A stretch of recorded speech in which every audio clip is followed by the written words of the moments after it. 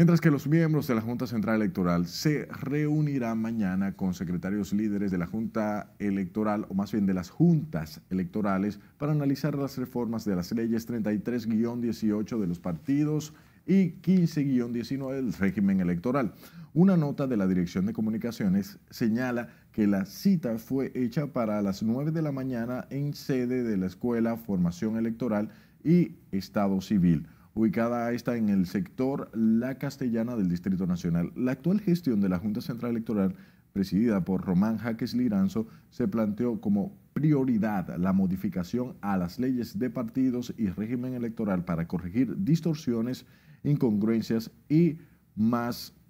cosas que están relacionadas a ellas, las cuales contribuyen al caos en los procesos electorales realizados en el presente 2020.